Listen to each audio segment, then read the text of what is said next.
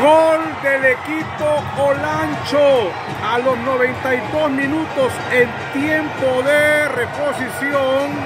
El equipo Olancho hace la hombrada.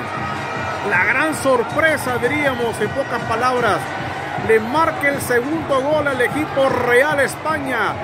Damas y caballeros, el equipo Lancho está pegando fuerte en San Pedro Sur. El primer gol fue de Eric Andino, los 26 minutos en el primer tiempo. Y ahora está rematando al equipo aurinegro con el segundo gol en la etapa de complemento.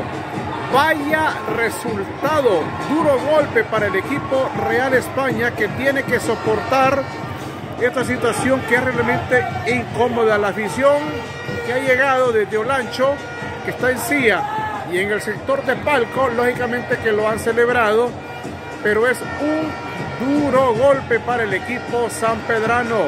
Un duro golpe, un 2 por 0, faltan algunos eh, minutos por jugarse, es muy poco en realidad y el equipo Olancho marcó el segundo gol. Usted lo vio en las redes sociales de un servidor Américo Navarrete informándoles tanto en el Facebook como en el YouTube. Asombroso lo del equipo Olancho. Nada extraño. Llegó con mérito segundo lugar en la clasificación y ahora está celebrándolo a lo grande. Felicidades, otros han hecho un gran trabajo torneo de clausura con un técnico hondureño Humberto Rivera.